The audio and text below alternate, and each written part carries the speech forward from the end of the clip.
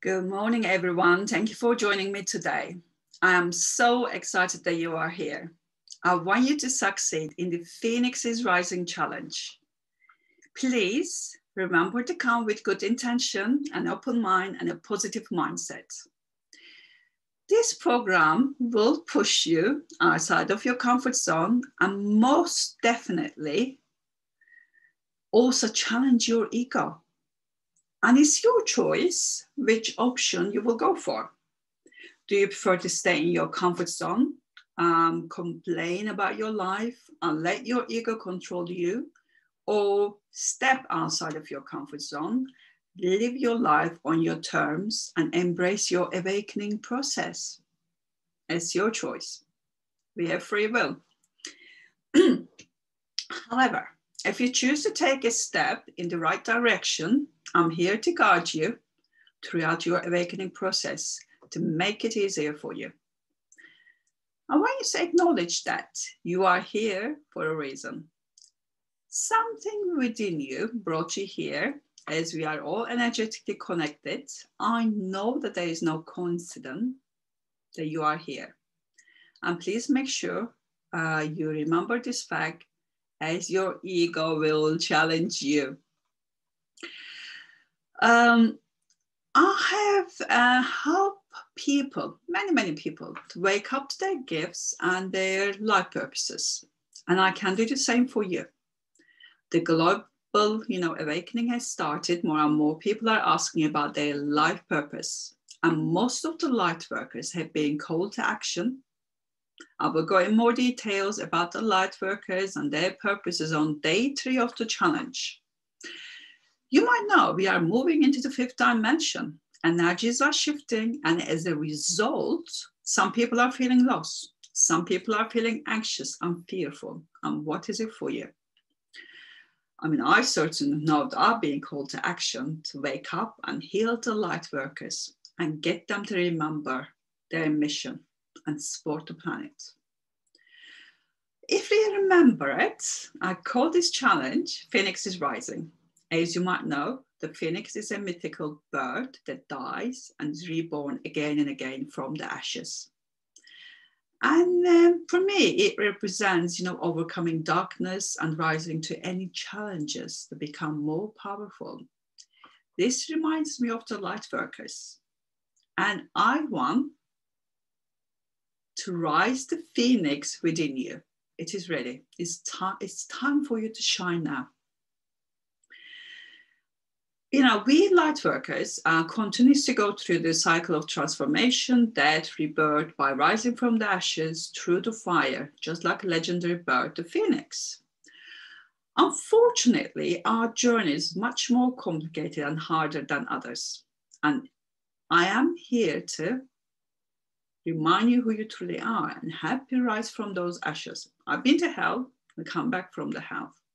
And I know how to rise from the ashes. Remember that we are not human beings having a spiritual experience. We are spiritual beings having a human experience. It's very important. If you are looking to find yourself, you must look beyond the body and let go of your human experience to make room for your real powerful self to appear. And if you are ready to be reborn from the ashes and transform yourself, be ready to let go of those old stories, and uh, the blocks, the traumas, fears that come with your human experience. You might feel resistance to leave this, you know, life experience and your ego behind. It is very, very normal. It's unknown. It's scary, you know. Well, I want to try something. Now, I want you to tune into yourself and close your eyes. And as I work with the subconscious mind, I don't want you to analyze anything that I ask you, you know, to do. Just go with the first answer that comes to you and ask yourself now, what is it one thing that holds you back in life from moving forward? Is there a worry? Is there a fear? low self esteem, self sabotage. What is it? Identify it and make a note of it. And feel free to share it in the comment section below. We will look at your subconscious programming to get a better understanding of yourself, your behaviors, and your current uh, reality. Also, how to use our beliefs and thought process to change your reality and create a life of your dreams. It's very important.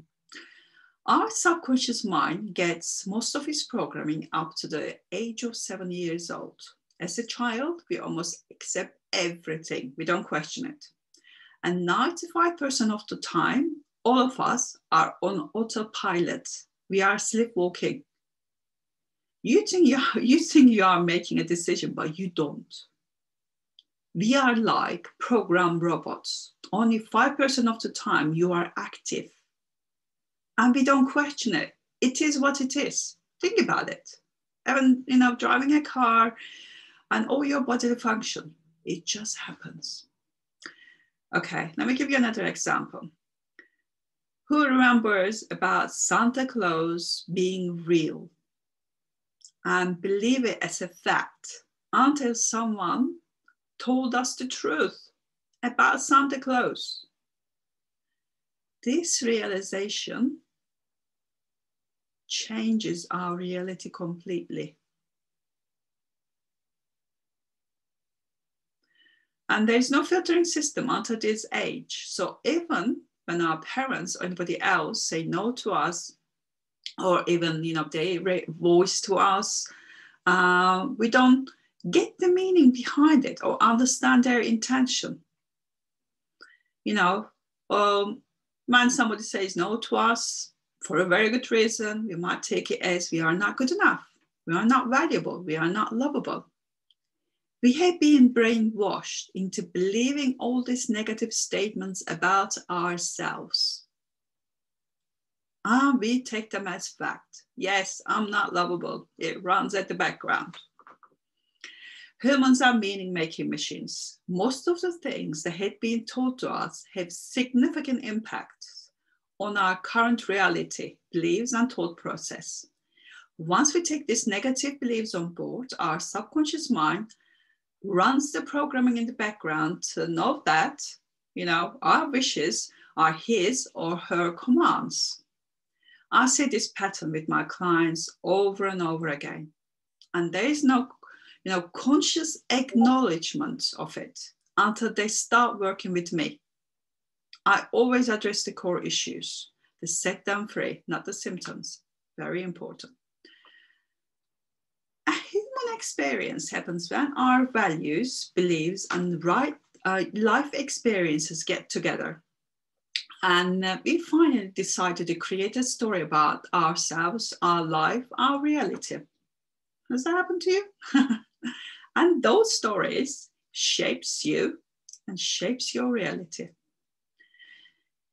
Even though, you know, I'm not going to deny these experiences are so valuable for our soul, if they are holding you back and making you suffer in this lifetime, it means they are no longer serving you. It is time to understand these are just part of your human experience and they should not have any power over you. You're a so powerful spiritual being. You're just sleeping. You're not aware of it. You're on autopilot 90% of the time. Once you shift your opinion about your limiting beliefs, about yourself, about life, about humanity, everything, your reality will change for the better. Look at it this way if you want to build a strong, long lasting house, you will need a strong foundation. If your house is built with bricks they are written, I'm not good enough, you know, I'm not good enough, I'm not valuable, I don't deserve love, and have cracked throughout them, how strong your house will be, how strong your foundation will be. How can they handle life? Our foundations have been created in our childhood without any filters, and we have um, we have deeply, you know, engraved into these bricks, and um, we don't even notice those beliefs. if our foundation is not solid, um, let's say it is full of traumas, fears, again, limiting beliefs, all these blocks, how does it show in your life? So you might be thinking, okay, oh, maybe I don't have that. Okay, I will tell you how it shows in your life. Self-doubt, procrastination, anxiety, stress, depression, self-sabotage, panic attacks, chronic illness, you name it. So if you experience any of that, you need to look at your foundation, your subconscious programming. I want you to overcome these symptoms. So what do you need to do? You work on you. It's always the internal work. It is the foundation that will give you the desired results that you need. So we need to rebuild our foundation with our newly learned, empowered beliefs about ourselves, not the ones that we have been brought up on which have negatively impacted you know, our lives and emotional well-being. Subconscious mind represents around 90% of your total brain function. And we will work with the subconscious mind to deep dive into your foundation to identify your subconscious breaks to see how strong your foundation is. So, are you ready to deep dive in? Okay, let's do a little process together. I want you to imagine this person in front of you. They look like you, they act like you, they walk like you, but they are not you. You might want to close your eyes as well. Just close your eyes, you know, just feel this person, look at this person in front of you. You might sense it, you don't have to see it exactly. It depends on your abilities. I want you to just observe them. Do they look happy? Are they standing tall? Do they look tired? Notice everything about this person. Do they have any invisible baggages that they're carrying? Have a look at it. Yeah. Now you're observing this person, you're looking at this person that looks like you, acts like you, talks like you, but not you. I want you to notice what do they need to believe about themselves that attract these adverse, these negative events to themselves. Second question, what kind of challenging and recurring events keep happening in this person's life? Is something keep happening? Um, it might be maybe, you know, they're not able to make friends, they're not able to um, have a relationship, or they're not able to succeed in their um, marriage or in their business. And say, what is the recurring event since their childhoods keep happening over and over again? Next question. What is their biggest fear? And where is this fear coming from? Now turn your attention to yourself and ask the same questions to yourself and write the answers into your workbook. This is very important. Please do not miss this part, okay? This is very, very important, this step. And how long are you going to let fear hold you back? How long are you going to let your stories and your ego keep you captive in your own inflicted prison. If not now, when? We're almost about to go into 2021. And what kind of insight did you have about yourself from this little exercise that we did? Write all this down. It will be extremely helpful for you to look deeper. It might be scary, but helpful. Awareness is the first step to break free from pain, fears, and stories. And I will go deeper tomorrow. And do not miss tomorrow's sessions. This is life changing stuff. I wish I knew this years ago. It took me years and years and years of studies, reading books, attending seminars, workshops to put the pieces together. And I'm teaching you the whole picture. How can you be a spiritual light being when all these traumas, blocks, resistance, and fears are holding you back and keeping you captive in that fear zone? Okay? I want you to really start thinking about this. Please complete task one and post it underneath the homework post. And also please post your aha moments and your breakthroughs under my aha moments post to collect points for the prize draw. We got prize draw on Thursday.